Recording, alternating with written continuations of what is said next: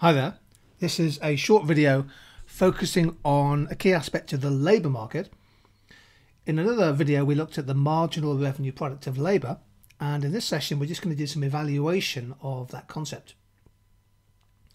The marginal revenue product of labour, or MRPL, is defined as the extra revenue generated when an additional worker is employed by a business. Now, the key thing really here is that we use MRPL in terms of deriving the demand curve for labour in competitive labour markets.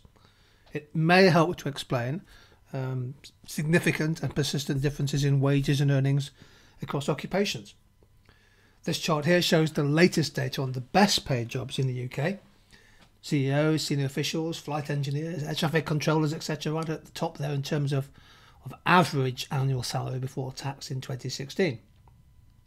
So, to what extent are those high salaries, those high earnings, a reflection of the marginal revenue product of the people employed by those businesses?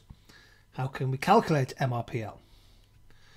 I've put here together five key evaluation points which hint at significant problems with estimating accurately the marginal revenue product of labour. Firstly, and importantly, not every good or service actually has a market price attached to it. Think about, for example, the work of people in the care sector, or people in state education, or nurses in the NHS. There isn't necessarily a market price attached to the value of their work, and perhaps there shouldn't be.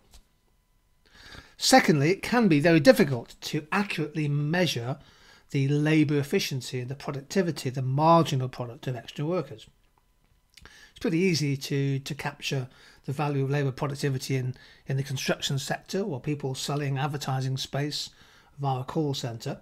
It's much much harder, much trickier to measure accurately the productivity of people in education, healthcare, and cleaning, as we've mentioned.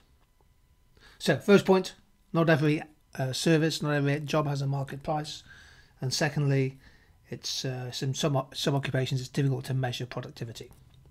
Third point increasingly, of course, we live in a world where collaboration is the default, people working in teams.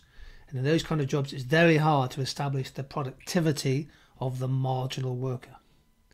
And a fourth related point is that in these days, in the world of globalization, many products are the result of inputs that come from many, many different countries, multinationals and businesses located around the world each of which contributes to the value added contained within a final product.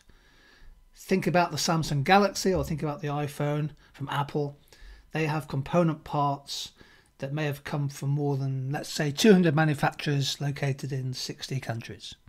It's very hard to work out the marginal revenue product of each individual worker in those factories.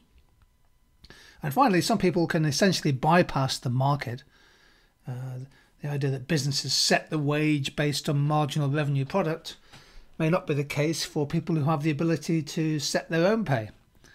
Uh, the self employed, for example, or perhaps directors, senior executives in a business. So, MRPL is an important idea, but it's quite hard and quite tricky to measure it accurately. Here's a recent example that uh, interested me. They, they've done a survey of the estimated hourly earnings of Uber drivers compared to taxi drivers in, in the US major cities. And the evidence seems to suggest that people who drive for Uber are earning more net earnings per hour. However, it's important uh, to note that the figures do not take into account the expenses incurred by Uber drivers. Uh, expenses that uh, taxi drivers would normally have paid for them by their employer.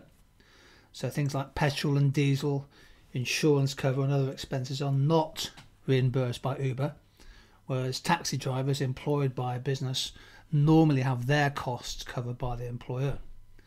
And uh, the evidence that I've found is that a full time Uber driver uh, can expect an hourly expense of around $5 per hour to take into account. So there we go. There's some comments, some thoughts on how to evaluate the marginal product of labour.